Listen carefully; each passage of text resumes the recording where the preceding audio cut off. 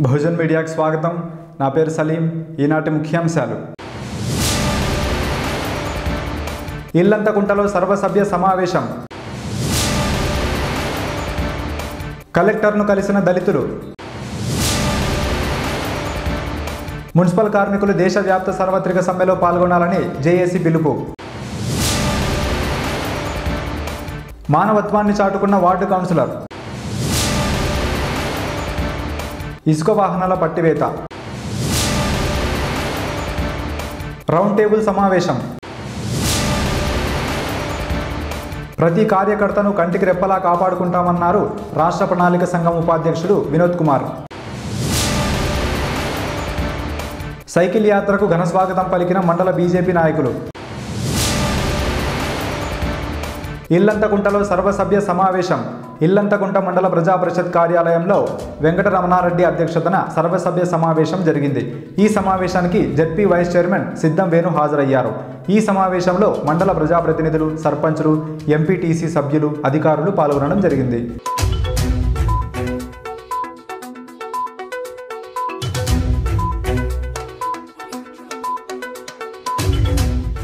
కలెక్టర్ను కలిసిన దళితులు ఏళ్ళ తరబడి సాగు చేసుకుంటున్న తమ భూములను ధరణి పోర్టల్ నుండి తొలగించారని కోనరావుపేట మండలం కొలునూరు గ్రామ దళితులు ఆవేదన వ్యక్తం చేశారు.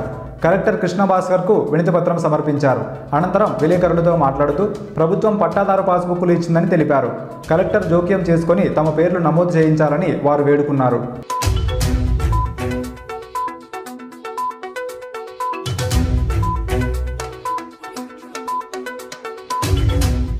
మున్సిపల్ కార్మికులు దేశవ్యాప్త సార్వత్రిక సమ్మెలో పాల్గొనాలని జేఏసీ పిలుపు.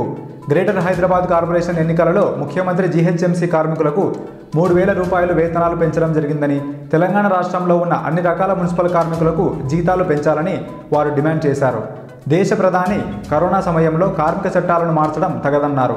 లక్ష ఉద్యోగాలు ఇస్తామని చెప్పి నేటి వరకు ఒక్క ఉద్యోగం కూడా ఇవ్వలేదని ఆర్థిక శాఖ మంత్రి ఒక్కరి ఖాతాలో కూడా డబ్బులు జమ చేయలేదని మోడీ ప్రభుత్వాన్ని దుయ్యబట్టారు. మన్ కీ బాత్ పేరిట దేశ ప్రజలను నిండా ముంచుతున్నారని ఆవేదన వ్యక్తం చేశారు.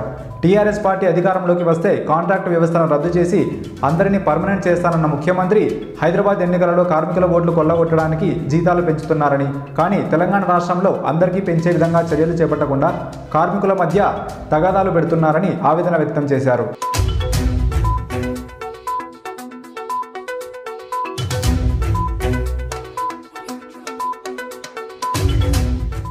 మానవత్వాన్ని చాటుకున్న వార్డు కౌన్సిలర్ రాజన్న సిరిసిల్ల పట్టణంలోని సుందరయ్య నగర్కు చెందిన రేగుల వజ్రమ్మ అనే కార్మికురాలు అనారోగ్యంతో ఇటీవలే మృతి చెందింది.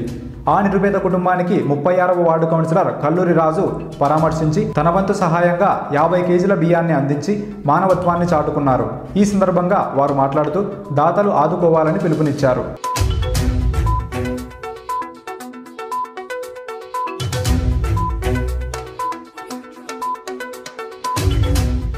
ఇసుక వాహనాల పట్టివేత. ఎస్ఐ వెంకటకృష్ణ తెలిపిన వివరాల ప్రకారం వెంకటాపూర్లో పాట్రోలింగ్ చేస్తున్న ఏఎస్ఐ కిషన్ రావుకు సమాచారం అందడంతో గ్రామ శివారులో ఇసుక లోడుతో వస్తున్న వాహనాలను నిలిపివేసి తనిఖీ చేశారు. తనిఖీలో ఎలాంటి ప్రభుత్వ అనుమతి పత్రాలు లేకపోవడంతో వారిపై కేసు నమోదు చేసినట్లు వివరించారు.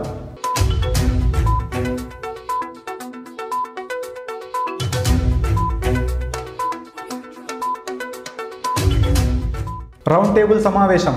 కేంద్ర ప్రభుత్వం తెచ్చిన మూడు చట్టాల వలన చిన్న సన్నకారు రైతులకు రక్షణ లేదని కార్పొరేటర్లకు పూర్తి స్వేచ్ఛ లభించిందని దీనితో బడా కంపెనీలు వ్యవసాయాన్ని నిర్దేశిస్తాయని ఆ చట్టాల వలన రైతులు క్రమంగా వ్యవసాయాన్ని వదులుకోవాల్సి వస్తుందని వామపక్ష ప్రజా సంఘాల వారు పేర్కొన్నారు. రైతులు పండించే పంటలకు మద్దతు ధర కల్పించడంలో ప్రభుత్వాలు విఫలం చెందాయని విమర్శించారు. కేంద్రం తెచ్చిన మూడు చట్టాలను రద్దు చేయాలని విద్యుత్ సవరణ బిల్లును ఉపసంహరించుకోవాలని ఈ నెల ఇరవై మూడున జరిగే ర్యాలీ జయప్రదం చేయాలని ఈ నెల ఇరవై ఆరు ఇరవై ఏడు తేదీలలో జరిగే గ్రామీణ బంద్ను జయప్రదం చేయాలని పిలుపునిచ్చారు.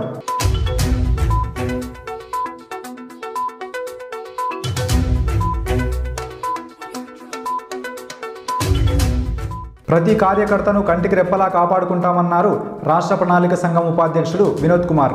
జిల్లాలోని తంగళ్ళపల్లి మండలం కేంద్రానికి చెందిన టీఆర్ఎస్ గ్రామ శాఖ అధ్యక్షుడు శ్రీనివాస్ సిద్దిపేట జిల్లా శనిగరం వద్ద గల్లంతై మృతి చెందాడు.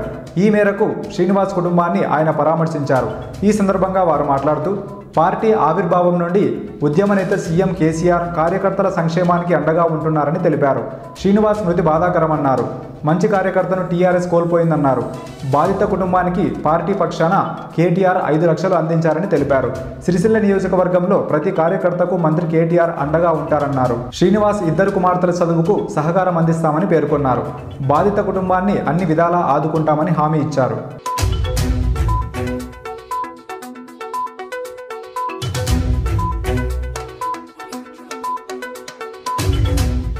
సైకిల్ యాత్రకు ఘనస్వాగతం పలికిన మండల బీజేపీ నాయకులు. వేములవాడ మండలం నుండి సైకిల్పై యాత్ర. హిందువులపై జరుగుతున్న దాడులను నియంత్రించాలని హిందూ రక్షణ చట్టం తీసుకురావాలని కరీంనగర్కు చెందిన దొమ్మాటి మాధవిలత అనే యువతి సైకిల్పై వేములవాడ నుండి ఢిల్లీ వరకు యాత్రని ప్రారంభించడం జరిగింది. ఆమెకు ఎల్లారెడ్డిపేట బీజేపీ నాయకులు కృతజ్ఞతలు తెలియజేశారు.